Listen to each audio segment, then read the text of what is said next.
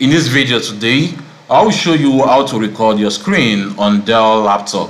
So to do this, what you have to do is just to open the screen, any part of the screen which you want to record. So let's want to record this screen right here. The next thing for you to do is just to press on the window button and tap on G to continue. So right here as you can see, okay, so right here as you can see, here is the environment, here is a recording environment. So what you have to just to remove it from audio as you can see just remove right this one right here so you can record the audio. But if you don't want to record the audio you can just click right here to cancel it. Then so when done you can then click on this start button to start recording. So when you click on it to start recording as you can see right here.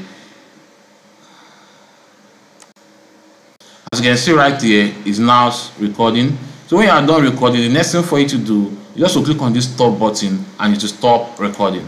So when done you can then go to any folder on your system as you can see you can open any folder. Then you click on videos to continue. So you can then come to capture.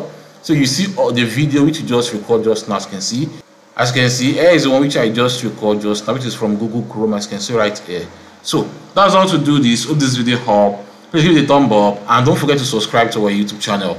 See you in the next video